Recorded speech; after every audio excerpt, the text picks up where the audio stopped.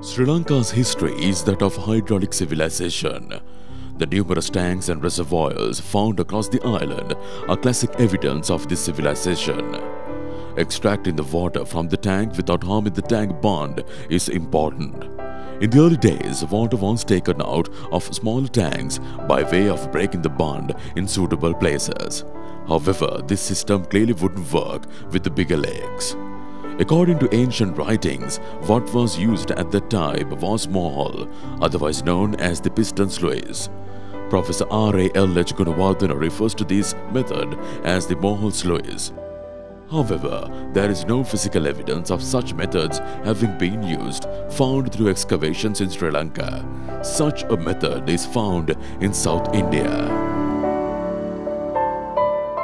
However, our village tanks and lakes have brought evidence even recently of the sluice, which is a slight variation of the mohol sluice. This sluice has been formed by placing katahatti or terracotta with a hole in bottom, one on top of the other. By removing the top layers of the katahatti, the required amount of water could be released from the tank.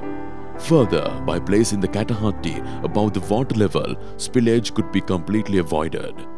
As the water would have to pass through the Katahatti to fall through the sluice, it greatly reduced the speed and the pressure of the water, therefore impact on the tank bund and sluice was very less. Despite all these methods, when the volume of water within the tank increases, as with tanks holding up to 20 to 30 feet of water, it builds up severe pressure that a normal above said sluices cannot safely handle. Our ancestors therefore developed the finest example of the ingenuity of the Sri Lankan irrigation engineering through the Bisokotuwa, meaning Queen's Enclosure.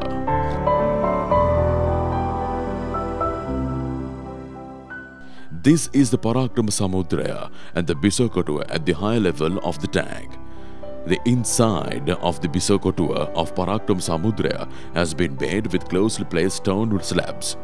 Around the slabs there is a brick mortar layer and this is surrounded by an interconnected rough stone slabs.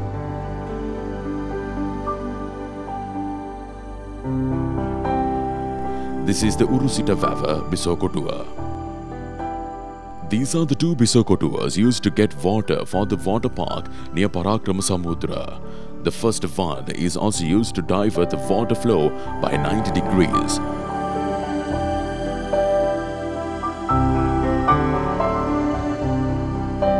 This is the Bisokotuwa in Bovava, one part of Parakram Samudra.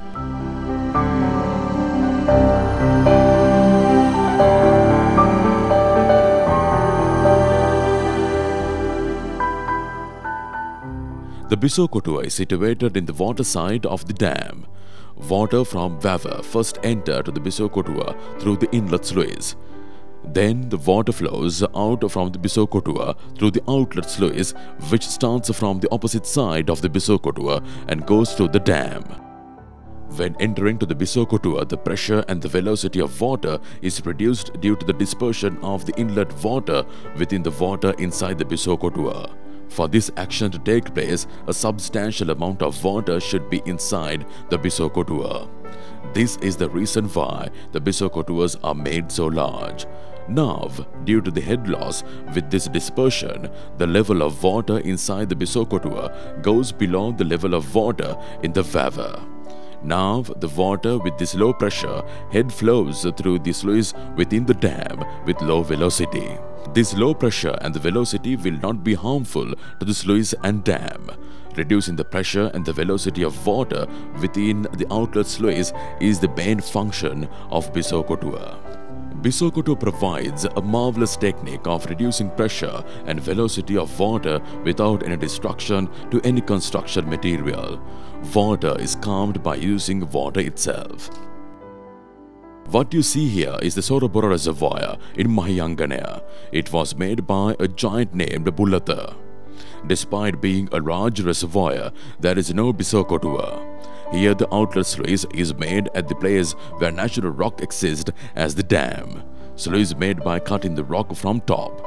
Therefore, pressure and the velocity of water is not a problem for the stone sluice. Therefore, this needs no Bisokotuwa. There is also a theory that the Bisokotuwa is the part of the tank to which the sluice gates must be fixed. However, if this was so, there would be no need for such large wells to fit a gate.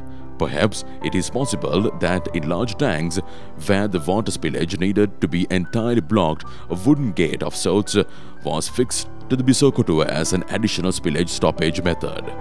However, such gates would only be an external addition to the Bisokotuwa.